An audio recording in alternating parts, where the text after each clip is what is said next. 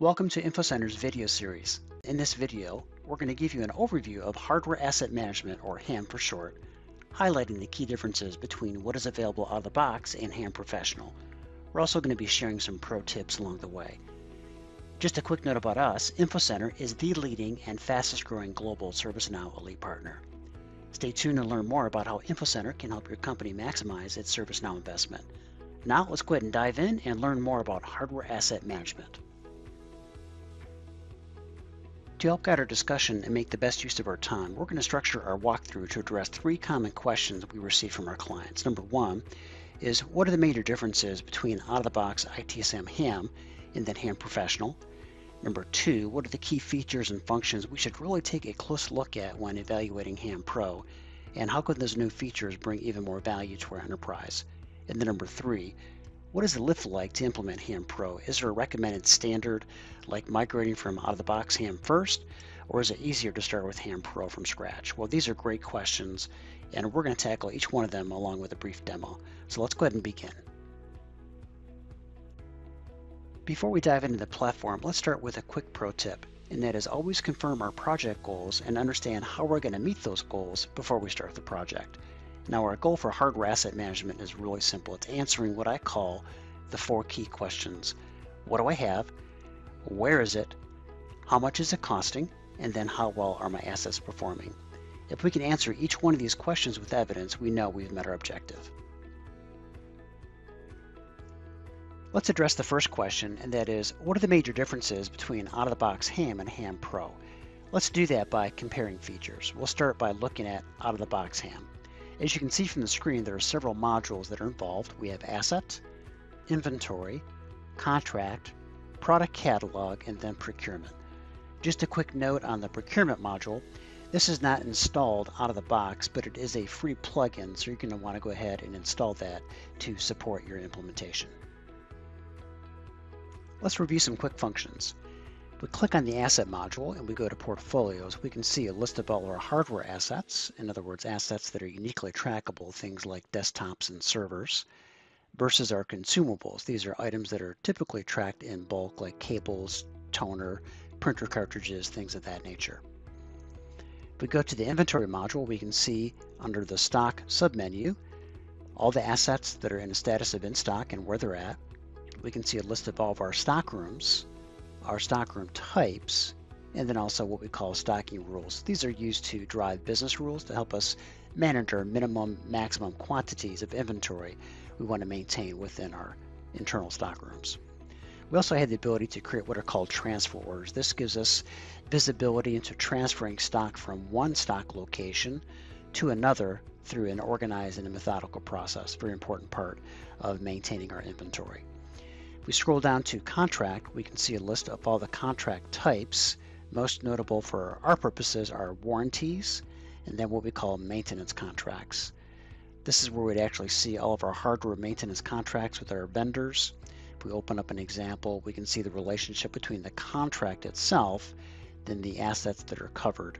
And then from here, alerts, dashboards, and reports can be created to help us manage the contract lifecycle. We also have what's called a product catalog, and underneath that you've got what are called product models. These are your form factors.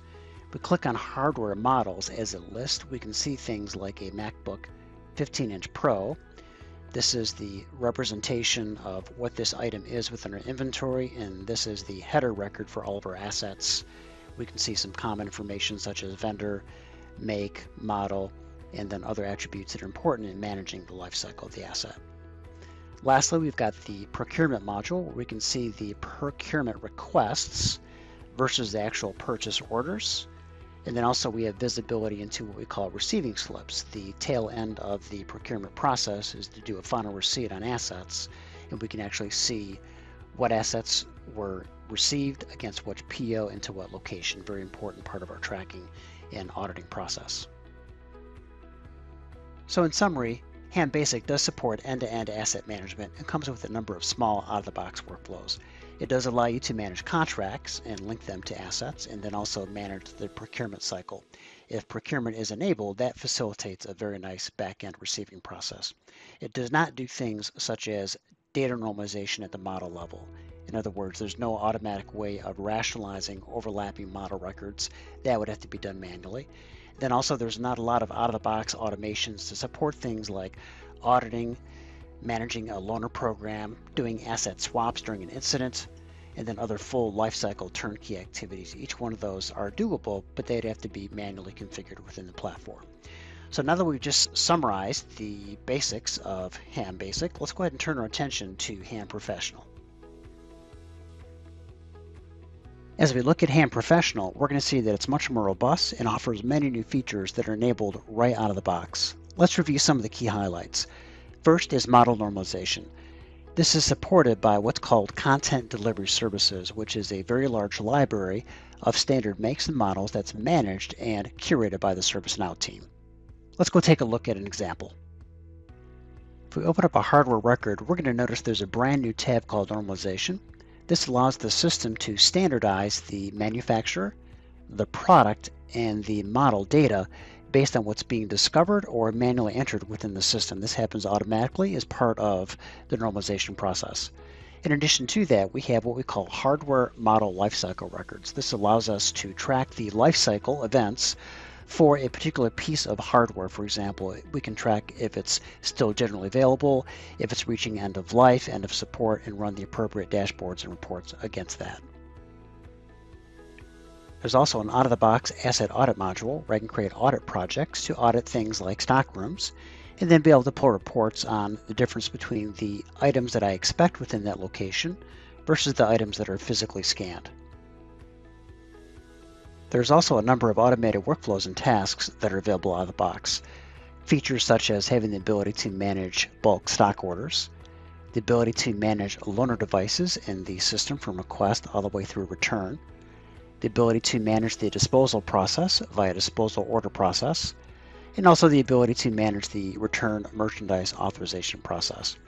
We also have the ability, if we go to procurement, to import what are called the ASNs or advanced shipment notifications from a vendor. We get it in spreadsheet form, we drag and drop it onto this UI page, we process it, and the system creates assets in a status of awaiting delivery, saving time and improving data quality. We also have a series of new requests that are available out of the box, supporting the RMA process, the hardware asset bulk refresh process, inventory restocking, and then also supporting the loaner asset request process. Underpinning all these new features and functions are a series of new dashboards and reports. The hardware asset dashboard displays metrics focusing on asset health, model management, procurement, inventory, and then end of life processes.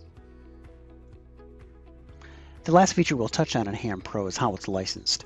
HAM Pro is licensed by asset class, and the system gives you the ability to opt in or opt out by specific asset class as needed to conserve your subscription ratios. This is a good way of conserving licenses if needed. The second question before us is what are the key features and functions we should take a close look at during our evaluation of HAM Pro, and how can those new features help us?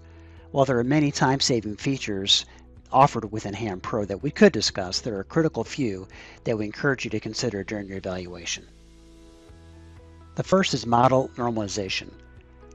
Automated normalization saves us a lot of time and saves us a lot of quality issues. As hardware admins and practitioners, we do spend a lot of time on data quality and accuracy, so this automation is really critical for us. Each time a new model record is created, the master data library is accessed, and it checks for any searches based on manufacturer, product, and model. It does fuzzy searches in the background to check for typos, different cases, misspellings, close spellings, things of that nature. And it performs automatic reconciliation. In the cases where a match is not found for some reason, an admin does have the ability to manually normalize the model, and that, that normalization is remembered from that point forward, so it becomes part of the standard library. All this together really saves us a lot of time over the life of a program. The second big feature to consider is the auditing module. Having a turnkey auditing process that works out of the box with the mobile app addresses a critical HAM function. This is a function that had to be configured manually in the past. This gives the asset auditors the ability to create one or more asset projects by location and gives them visibility into the difference between the expected assets in that location versus the ones that were found or scanned via the mobile app. These audit results are also posted back to the asset record for historical tracking purposes. The last feature we'll highlight that we think is critical to examine is what's called automated tasks. There are a number of these tasks that are available to save field staff lots of time, like the ability to do a quick swap during asset creation. A very quick example would be opening up an incident record, identifying the old CI or the old asset that needs to be replaced, in this case for a dead PC, if I scroll down to the Affected Assets tab, which is automatically populated, there are a couple new columns that are available now. The first one's called Asset Action, and if I double click on it, I see that I've got a number of different actions, including update or repairing the asset in place, swapping it out for a different asset, or retiring this asset. There's a prescribed set of workflows that fire based on each one of these asset actions automatically. In this case, I'm just going to do a very simple swap. I'm going to go ahead and save that asset action. I'm going to go ahead and choose the swapped CI. This is a list of assets that are in stock and available. I'm just going to go ahead and choose one at random and go ahead and save that record.